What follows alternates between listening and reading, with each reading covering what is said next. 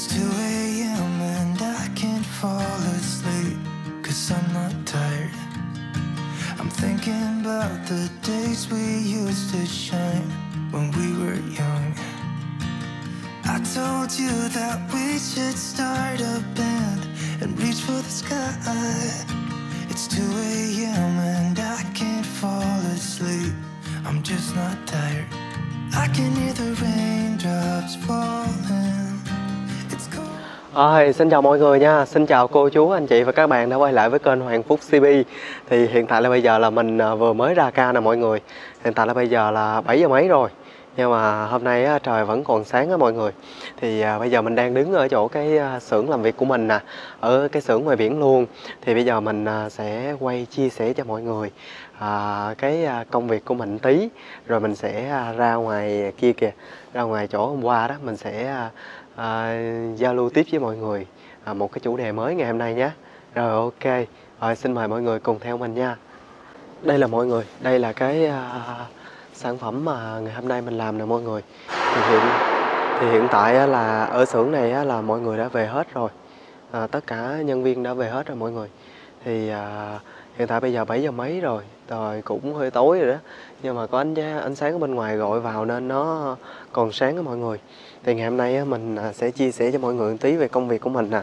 Thì à, đây là cái vòng ở bên ngoài. Thì làm ở bên trong xong rồi ra bên ngoài mình sẽ gao và mình hàng á mọi người. Thì cái đây là chỗ của à, ông người Nhật này mọi người. Đây là ông có kinh nghiệm 10 năm á nha. Bữa mình chia sẻ cho mọi người đó. Thì nếu mọi người nào người nào à, bạn nào mà chưa ai mà chưa có xem cái video trước á, thì xem lại giúp mình ha. Còn mình chia sẻ cho mọi người à, cái chỗ này cái chỗ này à, hôm nay mình bấm thẻ xong mình chạy đem xe đạp mình bỏ ngay xưởng luôn rồi mọi người. Tại vì chạy vô đây cho nó nhanh. Thì à, cái chỗ này là chỗ mình làm nè mọi người. Thì à, mình đã làm xong. Giống như mỗi một mặt á, là cái chỗ này là có ba mặt. Thì cái mặt ở bên kia là không tính là có hàng nhỏ nó hàng á nhưng mà có một ông già Nhật nữa vô phụ rồi. Nên là xong trước nên là không có tính nha. Còn cái mặt này của mình nè mọi người. Thì mình đã làm xong cái vòng này từ hồi trưa rồi mọi người. Xong hồi trưa và ở trên đó mình hàng cái bát đó. Cái bát đó mình đã hàng xong luôn rồi mọi người. Đó đây là chỗ của mình nha. Thì uh, cái mọi người cứ uh, mọi người cứ xem đi rồi uh, mình chia sẻ xong rồi một lát mình sẽ giao lưu với mọi người. Còn cái chỗ này cái chỗ này là của ông Nhật nè. Cái ông này có kinh nghiệm 10 năm này nha mọi người.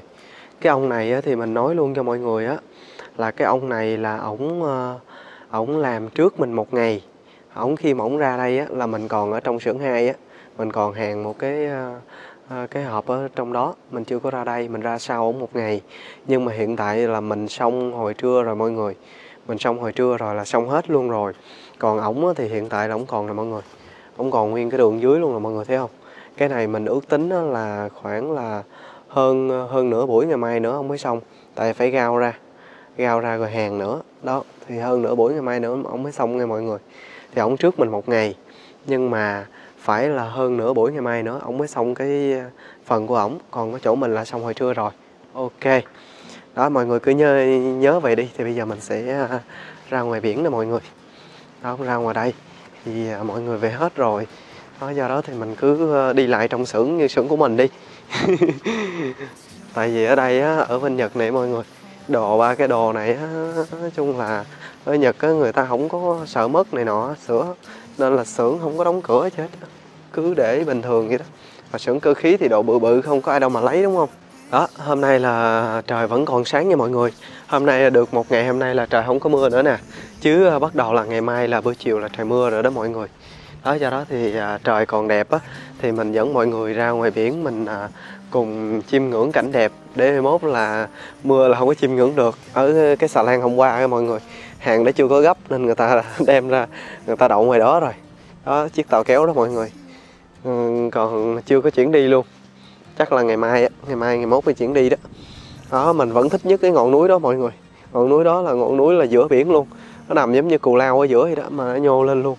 Rất là đẹp luôn á mọi người. Rồi mình hiện tại là mình bỏ đồ đạc bỏ xe mình trong xưởng hết rồi mọi người. Thì hôm qua mình ngồi góc bên này rồi hôm nay mình sẽ quay lại góc bên này cho mọi người nhìn ở bên đó là thấy cái đường lộ á mọi người xa xa có thể là những xe buýt to những chuyến xe buýt to chạy qua mình có thể nhìn thấy luôn á mọi người. Thì à, bây giờ trời rất là mát luôn này gió thổi hiu hiu. Hôm nay gió không có mạnh nữa do đó thì à, mình nán lại đây mình à, sẽ giao lưu với mọi người à, một cái chủ đề đó là à, làm việc ở nơi xứ người thì có bị người Nhật xem thường hay không?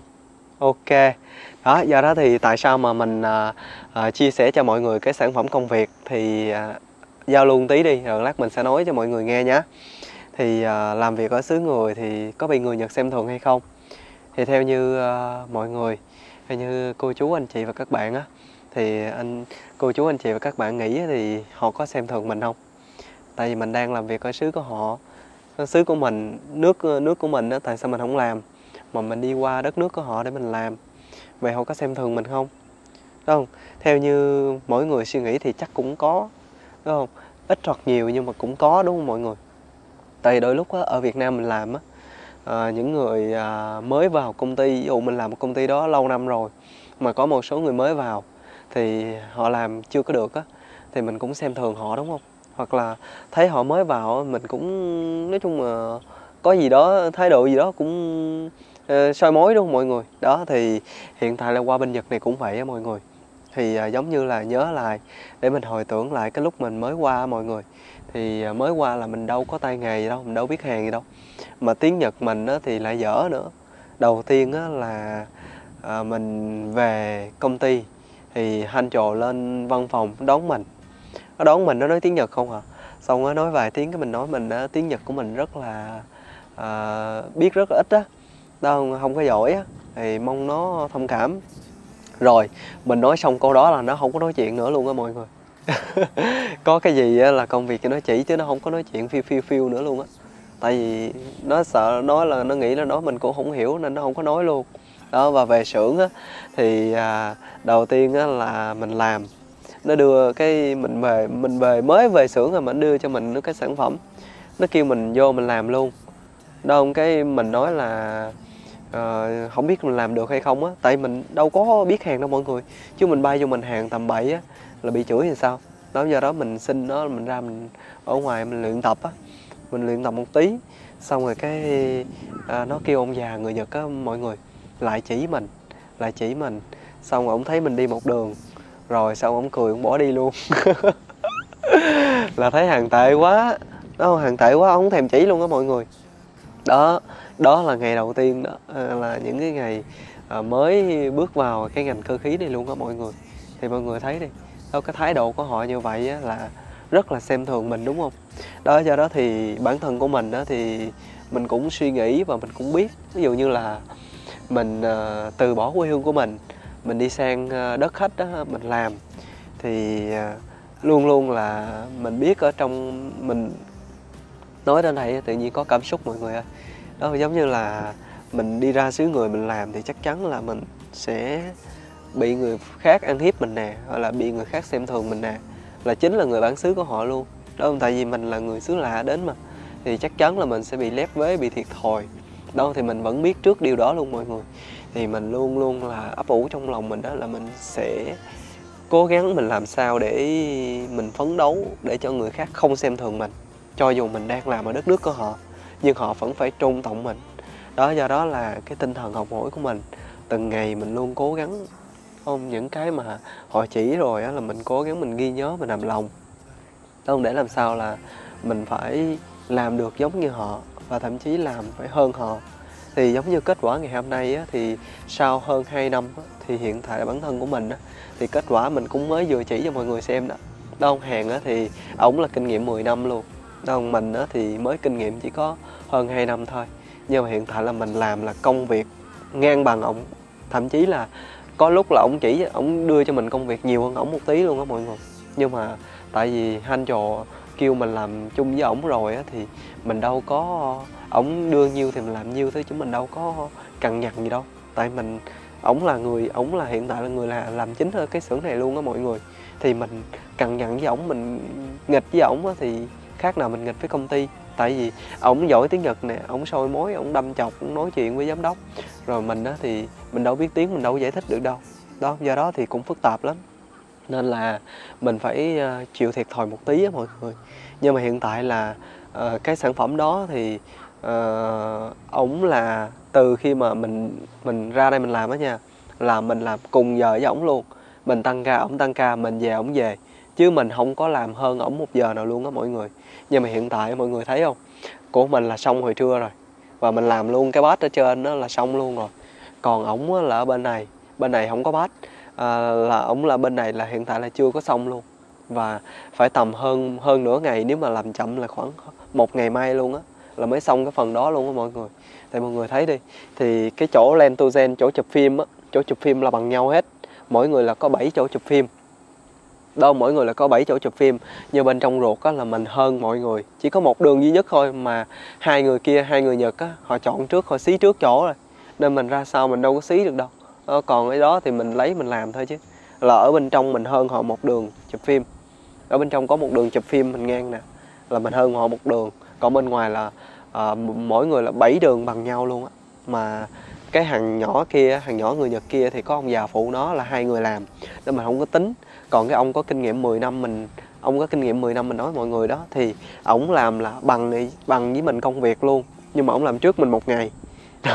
Và hiện tại mình xong rồi ổng chưa xong. Do đó thì mọi người thấy không? Đó là cố gắng phấn đấu làm việc đến ngày hôm nay thì giống như là có nhiều người nói á, là mình làm như vậy á, là sau này những người cô hai của mình nếu mà vào xưởng của mình á thì họ sẽ khổ. Nếu mà họ không được như như mình đó thì cái đó là do mỗi mỗi người như thế nào thôi. Cái sự cố gắng của mỗi người thôi chứ mình đâu có thể nào là bây giờ mình làm câu giờ để cho cô hai sau này hưởng hưởng như vậy được đâu. Đó do đó thì cái tính cách của mình kỳ lắm mọi người. Nhưng mình làm không làm thôi mà mình làm á là phải làm cho được làm cho tốt làm cho hơn người ta mình mới chịu. Đó do, do đó thì hiện tại là bây giờ là ở trong công việc thì đơn mình đã có sự nỗ lực như vậy á nên là cái kết quả mình làm chụp phim với mọi người kể cho mọi người cái lần trước luôn. Cái lần trước cũng hẹn một cái phi trang như vậy, là có bốn người hẹn là mỗi người là chụp phim là bốn đường. Mỗi người là bốn đường chụp phim. Mà có bốn người hẹn là tới có 16 đường chụp phim. Đơn nhưng mà hiện tại là mình với lại ba người nhật, ba người nhật kia là, ba người nhật kia mỗi người đều sai một đường hết. Còn mình là không sai đường nào hết. Đó, do đó thì đơn cho mọi người kể cho mọi người khe nghe không phải là khoe khoang gì nhưng mình kể để mình chia sẻ cái vấn đề ngày hôm nay. Đó, ban đầu mình mới hẹn mà chụp phim á mọi người. Mình hàng chụp á bị sai tùm lum á. Cái mấy nhật á nó ghẹo mình. Nó chọc nó cười đi ngang chỉ mình nó cười. Đó sai sai kìa đó này nọ. Đâu mà mỗi lần nó cười như vậy mình tức lắm mọi người. Mình cố gắng mình làm sao để cho là sao nó không có nói được nữa. Và hiện tại là bây giờ ờ, hầu như là chụp phim là mình làm ok hết đó mọi người còn người nhật á họ sai thì đâu có dám đâu có thằng nào dám ghẹo đâu. Không tại tính cách người nhật có ghẹo là họ họ xử đẹp luôn á. Đó. đó do đó thì do do mọi người á, thì mình kể cho mọi người nghe hồi nãy giờ để nói lên cái điều gì. Là ví dụ như mình qua bên này một á, là mình phải giỏi tiếng. Đâu mình giỏi tiếng hơn họ thì họ mới không xem thường mình. Đâu cái thứ hai á, là mình công việc mình phải làm tốt hơn họ mình phải làm ok hơn họ thì họ mới có thể không xem thường mình. Đó, do đó có hai điều mà mình cố gắng, nhưng mà hiện tại tiếng thì mình không có được giỏi. Tiếng là mình không có được giỏi mọi người, nên là mình phải cố gắng trong công việc. Mình không có giỏi tiếng nhưng mà những cái cơ bản nói chuyện, giao tiếp, chỉ rõ công việc là mình hiểu được đó không? Nên là cũng không có khó khăn gì trong công việc. Còn cái thứ hai nữa là trong công việc là ban đầu là mình dở là họ xem thường mình như vậy đó, thì mình cố gắng. Và hiện tại là bây giờ, xin thưa với mọi người là trong cái xưởng, cái chỗ mình làm việc nha không có một người nhật nào dám xem thường mình á đông và mình có tiếng nói ở trong quá trình làm việc luôn. Đó không? Tại vì tại vì khi mình làm được rồi á là tự nhiên là cái thái độ của họ nhìn về mình nó sẽ khác mọi người. Đông và bật mí cho mọi người luôn á là ở tại công ty của mình đó mọi người, thì hầu như không có người Nhật nào dám xem thường người Việt Nam luôn. Tại vì á, có cái may mắn là ở trên văn phòng công ty mình hiện tại có ba người. Có ba người Việt Nam là học đại học ở Nhật ra và à, đang làm đang làm ở trong văn phòng. Cũng giống như gọi là kỹ sư đó. Có một anh làm bên thiết kế có một người á, làm bên là kiểm tra kiểm tra lỗi. Và có một người là một người chị là thông dịch viên. Đó giờ thế thì có một đội ngũ như vậy á, thì mỗi lần mà người Nhật họ làm xong thì cái bạn mà kiểm tra lỗi á, đi xuống kiểm tra chấm lỗi cho họ. Đó không? Và mình thấy á, tự nhiên mình thấy có người Việt Nam mình đi kiểm tra như vậy mình cũng một phần nào mình tự hào mọi người. Tại vì là sao? Đâu, người Việt Nam mình chấm lỗi sai cho người Nhật luôn. Ông là đẳng cấp một vị thế khác rồi, đúng không? Đó, do đó thì hiện tại là ở trong, ở tại công ty của mình đó thì không có người Nhật nào mà, gọi là, dám xem thường người Việt Nam hết. Ông, và ở trong xưởng từng ờ, ở trong xưởng thì đôi lúc làm việc chung thì có một số người ganh tị xem thường như vậy á. Nhưng mà ờ, tại xưởng mình, ở những xưởng khác thì mình không có rõ, nhưng mà tại xưởng mình đó thì đâu mình cũng chia sẻ cho mọi người đó, không có người Nhật nào mà dám xem thường hết tại vì hiện tại bây giờ mình đã làm tốt hơn họ rồi. Mình làm xong nhanh hơn họ. Đâu mà mình làm đạt kết quả tốt hơn họ nữa. Đó do đó thì ngày hôm nay á, là đi làm về thì à, cũng nán lại công ty này. Ngồi đây á, thì cũng giao lưu tâm sự với mọi người tí như vậy. Đó do đó thì giống như là mình cũng nhắn nhủ cho những người bạn nào mà à, đang ở Nhật hoặc là đang chuẩn bị sang Nhật á. Đâu thì có hai cái mình phải cố gắng để cho người khác không xem thường mình dù mình đang làm việc ở xứ người một là tiếng mình phải ok đâu mình phải giao tiếp lưu lót với họ. Còn thứ hai á lo là công việc mình á phải làm ok đâu mình làm hơn họ đâu thì họ sẽ có một cái gì đó gọi là chút ngưỡng mộ gì đó mình đó họ không dám xem thường mình. Đó do đó thì ngày hôm nay á, thì cũng à, lại ngồi giao lưu chia sẻ với mọi người một tí vậy thôi. Đó, bây giờ thì màn đêm cũng buông xuống rồi mọi người nắng hết luôn nè mọi người thấy nè. Bây giờ dịu mát rồi à, do đó thì hôm nay video cũng hơi dài một tí. Đó mọi người cũng thông sợ thông cảm ha. Tại hôm nay tự nhiên có cảm xúc dân trào mọi người ơi. Đâu mình chia sẻ cho mọi người như vậy. Đó chắc là bây giờ mình sẽ xin dừng video ở đây. Để mình đi về mình còn chỉnh sửa video đăng cho mọi người kịp nữa. Ờ, cảm ơn mọi người rất là nhiều đã xem video của mình đến giây phút này.